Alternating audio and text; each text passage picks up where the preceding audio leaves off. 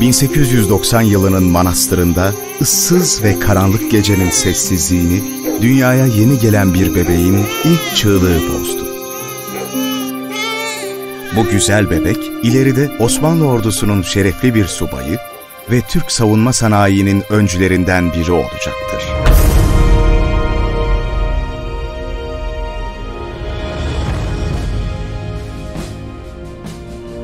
Genç Nuri, vatan ve millet aşkını ailesinden alır.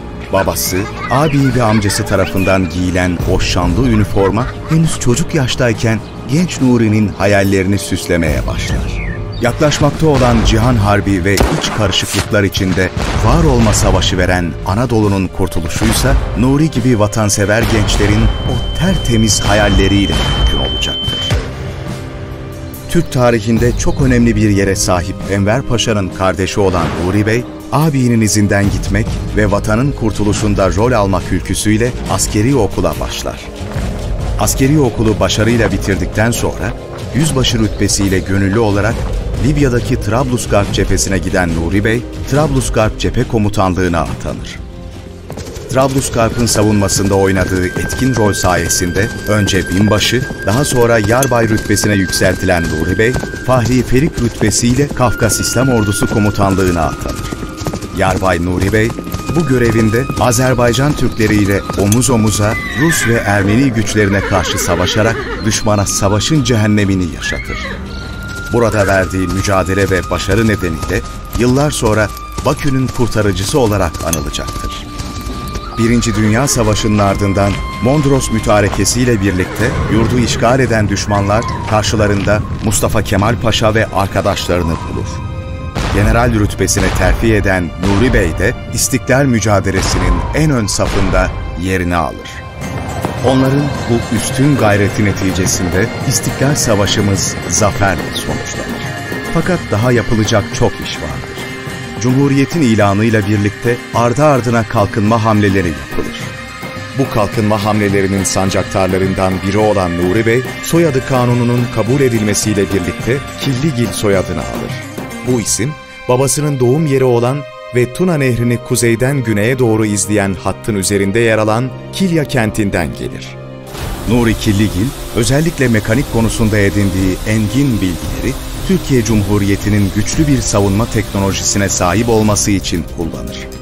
Nitekim Nuri Bey'in savunma sanayi alanına yönelmesinin en önemli nedeni, Türk ordusunun mekanik alandaki yetersizliğini ve teknolojik açıdan güçlü bir savunma teknolojisine sahip olamadığını görmesinden kaynaklanır.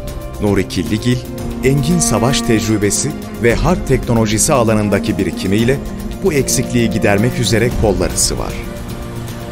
Uzun, özverili ve sancılı yeni bir süreç başlamıştır. İlk fabrikasını Zeytinburnu'nda kurar. Burada tamamen kendi imalatı olan tüfek, tabanca, el bombası, uçak bombası ve top mühimmatı üretir. Genç Türkiye Cumhuriyeti'nin övünç kaynaklarından olan bu ürünler dost ve müttefik ülkelere de ihraç edilir. Mısır, Pakistan, Suriye ve özellikle Filistin'e silah ihraç etmesi, İslam coğrafyasında kontrol sağlamaya çalışan Batı dünyasının dikkat ve tepkisini çeker.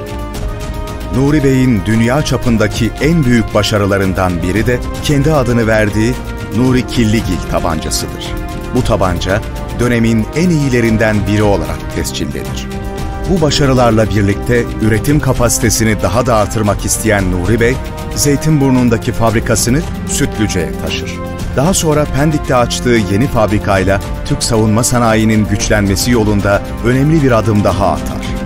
Nuri Bey, İzmir Karaburun'da bulunan Civa madenini de faaliyete geçirir. Civa, kimya ve elektrik bilimleri bakımından son derece kullanışlı bir madendir. Bu bakımdan savunma sanayi açısından hayati önem taşıyan civa madeni sayesinde ekonomik kalkınmaya büyük bir katkı sağlanır. Tarih 2 Mart 1949'u gösterdiğinde Türk savunma sanayinin yaşadığı en büyük felaketlerden biri vuku bulur. Sütlüce'de bulunan silah fabrikasında bilinmeyen bir nedenden ötürü bir patlama yaşanır. Patlamayı haber alan Nuri Bey, yardımcısıyla birlikte fabrikaya koşarak işçilerin derhal binadan çıkmalarını emreder.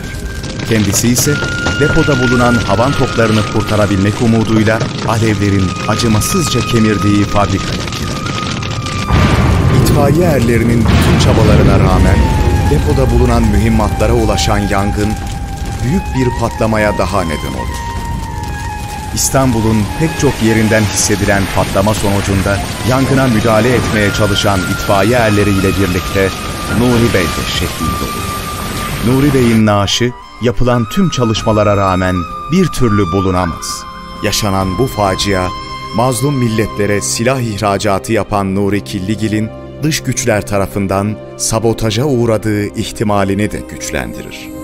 Ömrünü vatanına ve milletine adayan, gençliğini cephelerde tüketen, tüm engellere rağmen Türk savunma sanayinin güçlenmesi için insanüstü bir çabayla uğraşan Nuri Killigil, Türkiye'nin istiklal ve istikbal mücadelesinin aziz bir neferi olarak şehadet makamına yükselir.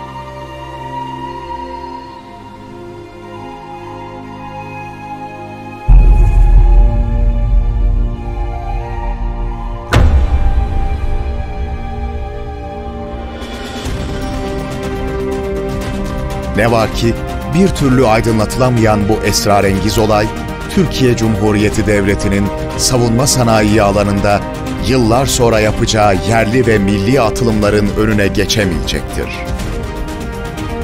Dönemin en önemli silah fabrikalarını kuran Nuri Killigil'in düşleri, günümüz dünyasında saygın bir yer edinen güçlü Türkiye'nin girişimcileri, mühendisleri ve işçileri sayesinde gerçeğe dönüştü. Ruhun şad olsun Nuri Paşa. İstiklal ve istikbalimiz için